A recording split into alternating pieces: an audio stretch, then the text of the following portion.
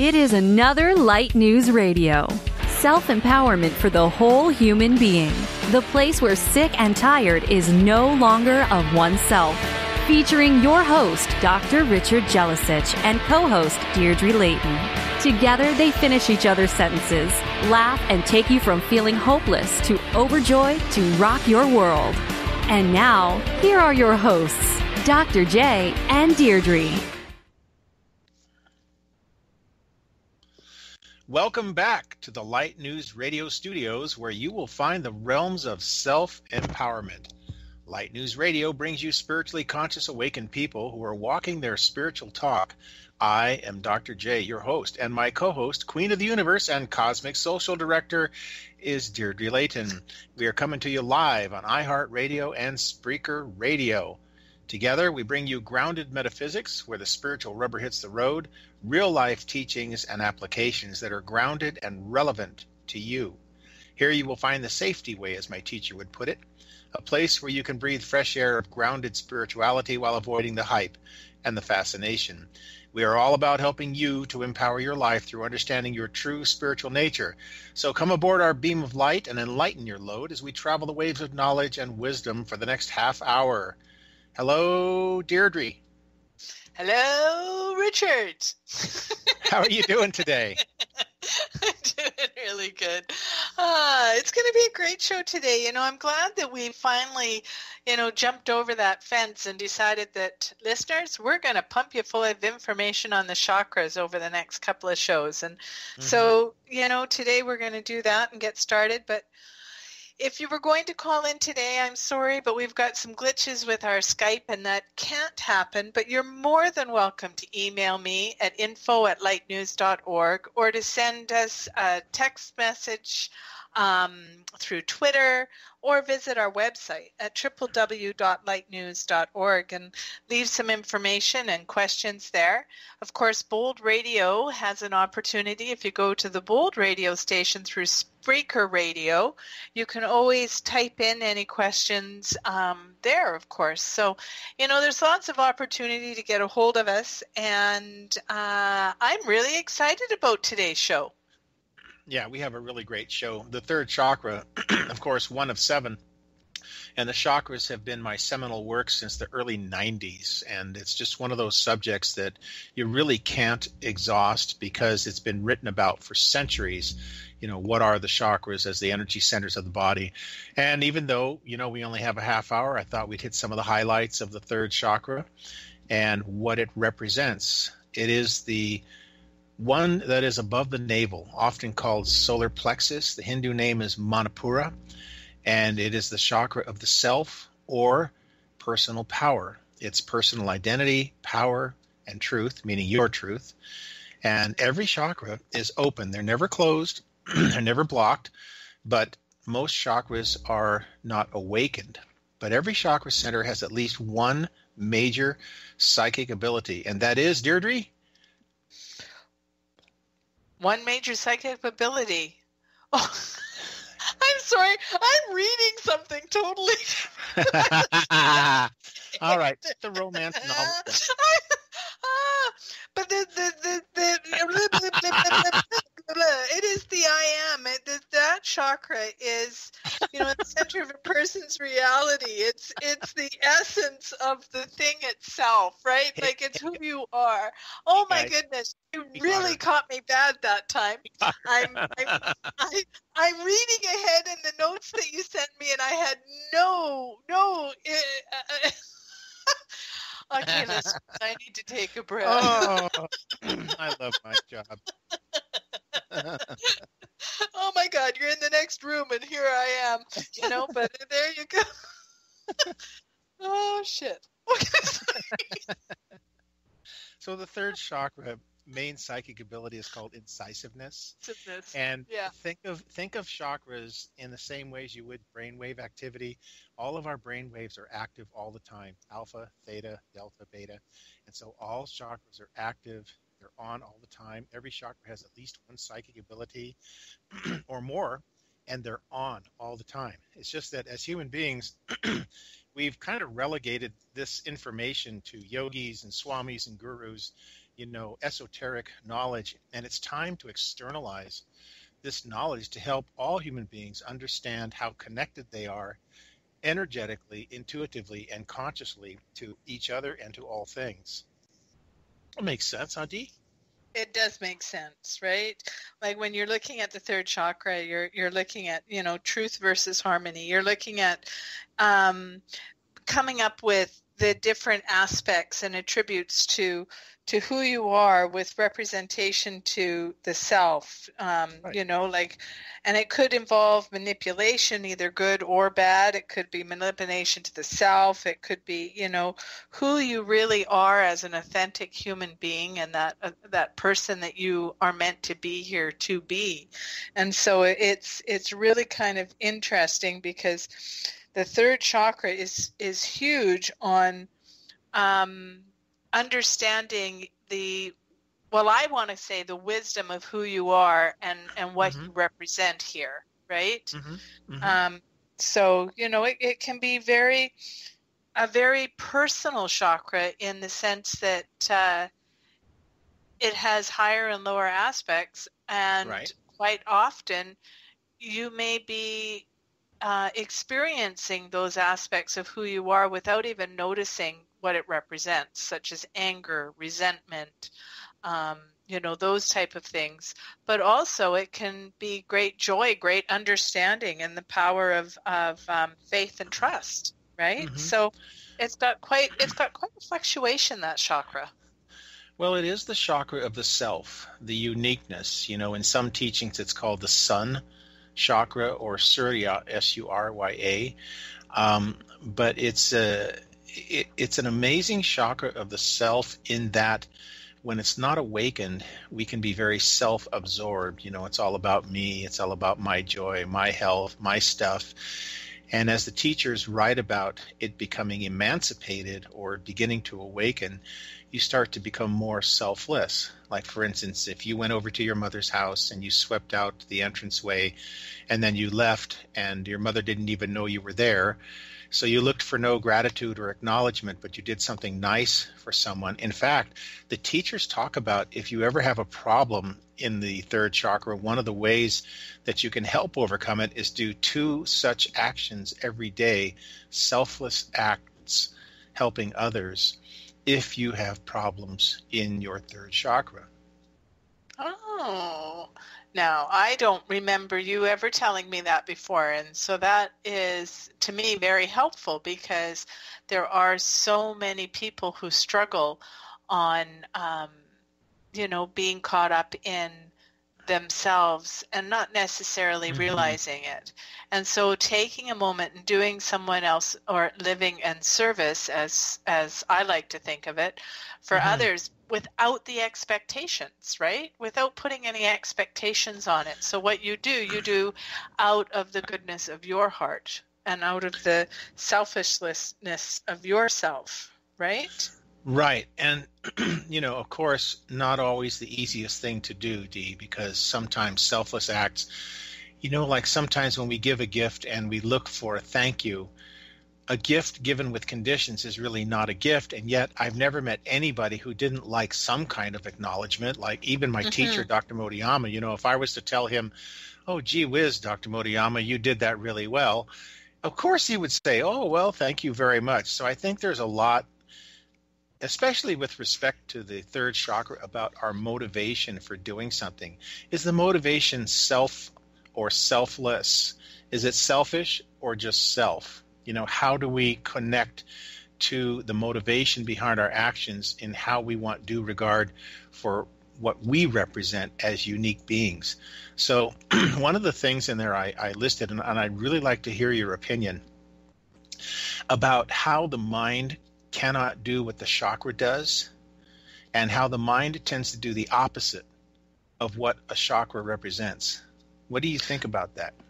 Well when when you're using your mind to um, and and we're talking little mind not big mind right so yeah when yeah. you're using when you're using your mind and you're acting rather than um, you know, embracing or using the feminine principle of, of being in the flow. When you're using your mind, you can be pushing, you can be pulling, you can be, you're not taking the moment to stop and feel and observe and uh, be a part of the whole process because your mm-hmm. mind tells you things have to happen now and things have to happen this way and you're never good enough or you never can accomplish this or those people are doing this and you should be doing that. Like your mind your mind chatters with you on things of utter of no importance quite often. Yeah and like so like comparing yourself to others exactly exactly mm-hmm right? So when you get out of your mind, um, like I, there's a meditation that I do, uh, you know, bringing myself down into my heart center. When you get out of your mind and you pay attention to what is really going on, and tuning into that, uh, you you really understand on a much higher level the the purity of what the chakras have to offer or you know what the the how the chakra works as a giver of truth or or as a, a as a char, I'm not going to say this right. Charismatic. Charismatic. charismatic. Leader, yeah, you're on it. Right? Yeah. Um, so, you know, it's it's about it's about living in faith and trust as much as anything else. Mm-hmm. And when you're to live in faith and trust is is really to get out of the little mind and to be open. Right, and not always easy to do.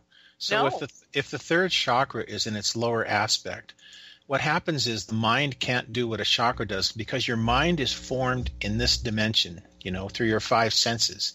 Chakras are not limited to space or time, and this is why it's been so difficult for the public to grasp because how do you talk about something that's not limited to space or time and yet we know exists? It's been written about for thousands of years and scientifically proven to exist. And yet these are centers, these chakras are not just centers of energy like fuel or electricity. They're centers of consciousness.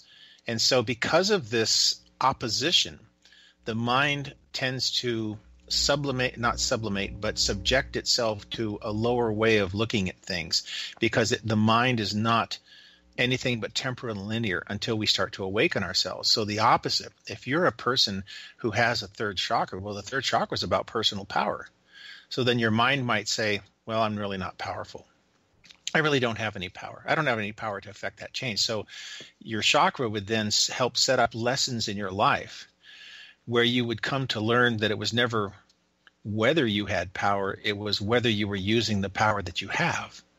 And right. so these these lessons in all of us are quite automatic. We really don't have to do anything but let these lessons come forth because they are our higher self guiding us into what's called emancipation from the illusion of this dimension. That's a heavy word. Emanci- eman. Want to explain that? Emanci- Emanci- emancipation. Emancipation means freedom from. So if you emancipate yourself from illusion, it means you become free of the illusion of separation that, that we believe we're separate from what we seek, when in fact everything is connected to everything. And science has been verifying this. And even so, you know, science can tell you a lot about things. It just can't tell you why things happen. It can tell you how, and it can tell you what, but it can't tell you why. And so this is where every person for themselves must have this unique, introspective, personal spiritual path where they awaken themselves. And again, spiritual awakening is emancipation from the illusion, and you start to really recognize the unity in all things. So, an example let's say a person awakens their third chakra. Well, then they start to understand in much more detail what's really going on behind the person's words who's speaking to you. So let's say someone's ah, talking to you yes. about something and they're revealing something, but your incisive psychic abilities of the third chakra helps you reveal the real story, the real truth behind what they're saying so that you can really behold the fullness of this person much much more deeply than just their words convey. Right. You understand where they're coming from on a more Mm-hmm. personal level because the third chakra is all about the person and as in the personality of of what is going on right here and right now. Indeed. And and so I, I yes, I totally understand that. And and I also um you know know that that brings up great dilemmas then because you know how can you live in that right action or in um, that spiritual truth all the time? Like that that is very difficult. You know you have different things going on in your life every day. Like um, a co-host who is reading something totally but you know what I mean. yeah, you get distracted, you- I- right? And you and I and together, you know, and, and me, um, you know, taking you off subject a little bit because it's humorous and it's good radio to show our humanity, you know, and that we don't always stick to the script. That's just us being human, you know. yeah, yeah. Um, I one thing that I struggle with with the third chakra is that I often fall. Um, even though I I understand and I see what's going on, but a, a true person who is living in the lower aspects of their chakra can be very convincing as a manipulator of everything that's going on around them. And they can Yeah. be quite the storyteller and quite the, you know, um, they can be very, very good at what they do. And that is one thing, you know, I, I have always, I've always, because I'm the type of person who expects good in everybody. And, and Mhm. uh, or I see the good in everybody and I don't Mhm. necessarily want to see anything else, right? So I do. I, I do have a tendency to um, to sometimes get walked on a little bit by people who are third chakra dominant. Well, and to your point, when a person um, issues forth their personal desires, there's usually some form of motivation that's underlying what they are doing or conveying or what they are communicating in some way. And so the thing about the third chakra is if you wanted to use your third chakra in the best light, then your motivation for doing anything would be innocence. Right. So that's how motivation is very important related to the third chakra because the third chakra is about one's truth, one's uniqueness, and one's power. But if you have all of that, by definition, it makes you a manipulator. But the word manipulator is neither good nor bad. So how you It's how it's you. Yes. how it's used. So what is your motivation behind the use of your power? You know, are you using it for selfish means? Are you using it to manipulate others in a harmful way, a negative way? Are you using it in a positive way to help other people? And so as you go about your day and you think, okay, how am I using my power today? It, what is my motivation for what I do in this moment? Is it truly innocent? You know, no hidden agenda, no caveat, and so forth. That is a wonderful way to be very mindful of the power in the third chakra. It's never whether So- you have power, it's that you have power. So, you know, another aspect of the third chakra, third chakra is is those um, that procrastinate, Mhm. right? They they they Procrastinator. have Mhm. uh, all this stuff in front of them and they know what they need to do, but they self sabotage and um, procrastinate on it or find excuses, which again is self sabotage. So Mhm. how how can someone work through that? I mean, because the third chakra, you know, it, it it's it really is about who you are. So you know how can how can somebody overcome that aspect Well, first of all, you know, sometimes you could be procrastinating without consciously knowing that you are. And other times you do procrastinate because you just don't want to deal with something. Some people don't like confrontation. And Right. they and and they look at it as a negative thing and so it causes a lot of consternation.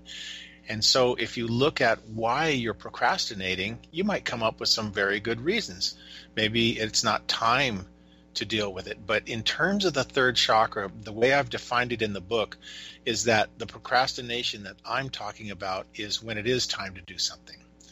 And it is time to address the whatever it is, but you do it in a spirit of love, in a spirit of conscious, creative collaboration that you want to work together, that you're looking for a great outcome.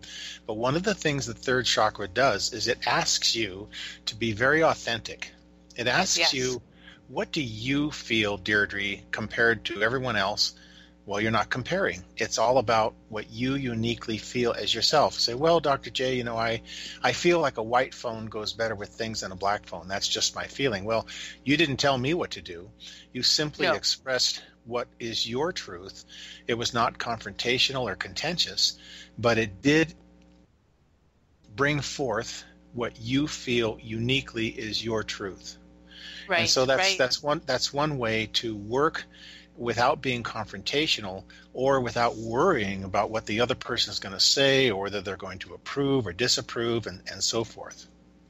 So one of the challenges then is to really have faith and to trust yourself and to Mhm. know that what you are feeling is unique but true to you.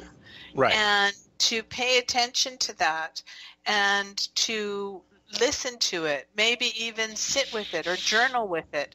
You know, when when you're dealing with a situation or something, it's it's good to take a look from kind of a stepped back place. You know, Mhm. like they say, mo- the meditation is is um, not what you think. And when No. you're looking at when you're looking at yourself um, as a beautiful spiritual being, sometimes it needs to be from that place of not thinking. It needs to be from that place of of um, love, understanding, and compassion. Precisely. And, you know, I think that the key there is love.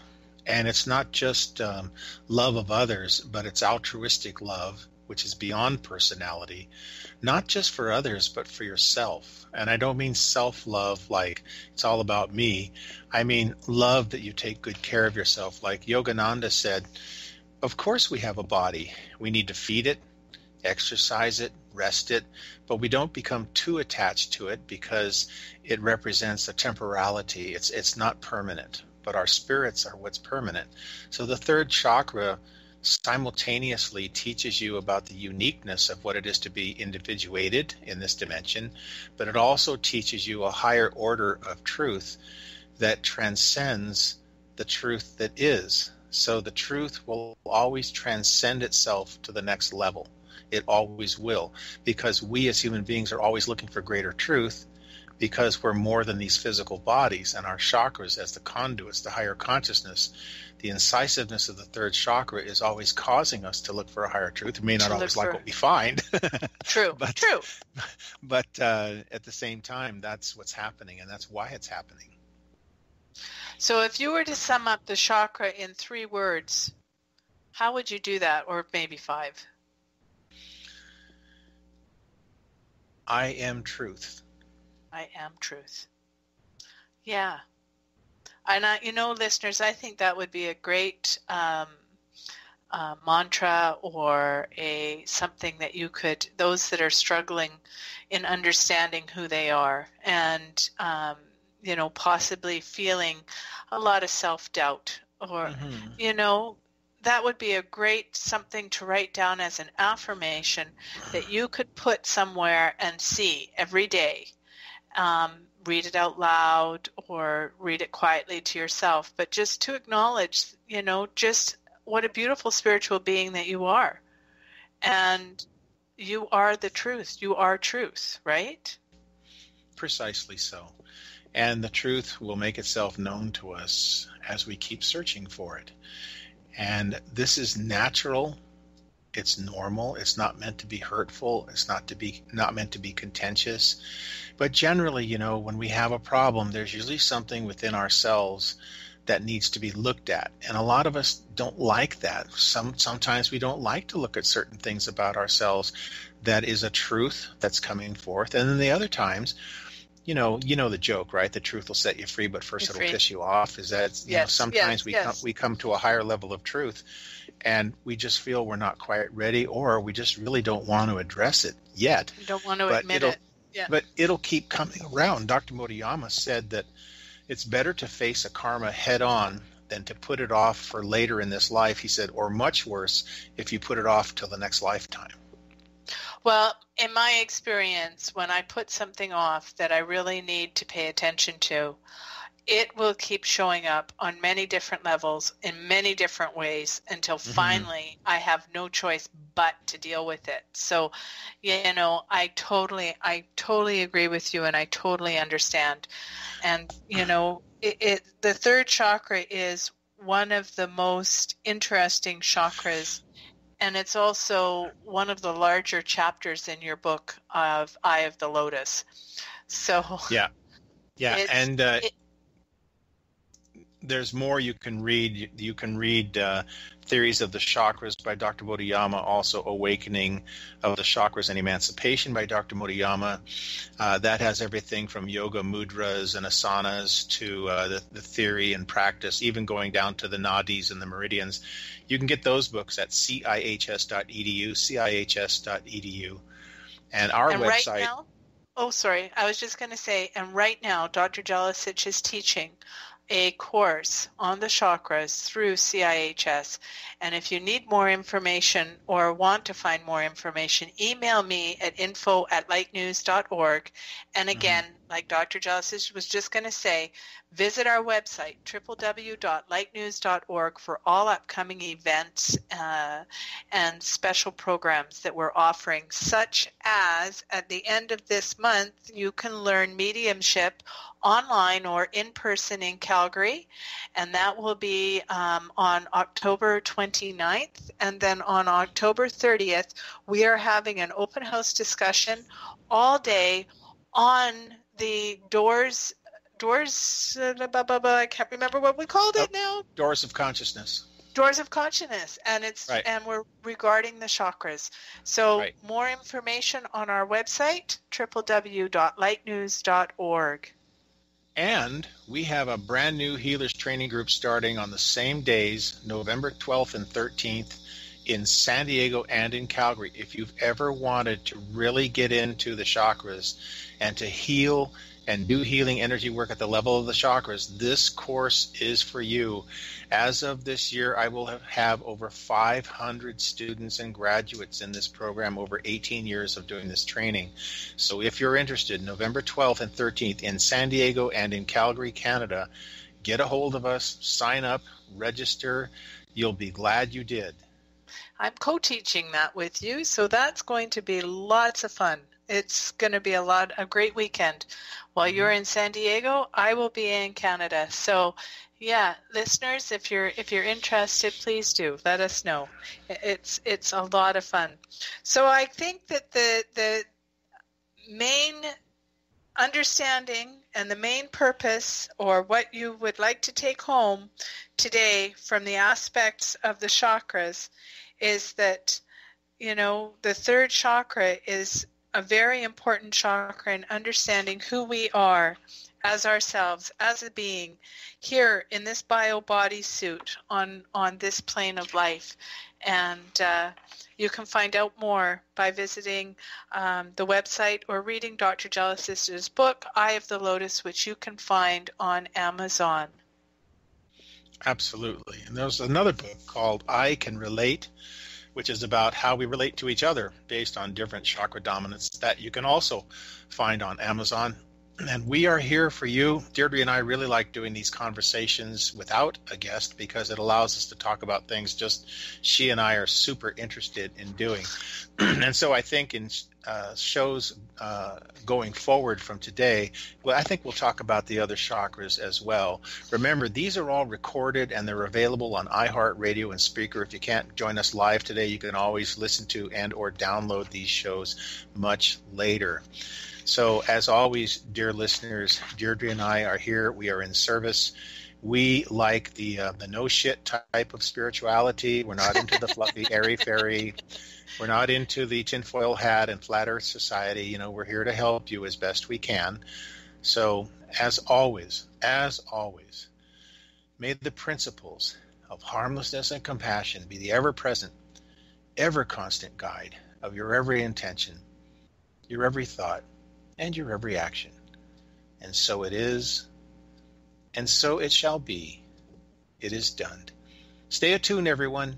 Thank you for joining Light News Radio, where you are self empowered for your whole being. Connect with us at www.lightnews.org.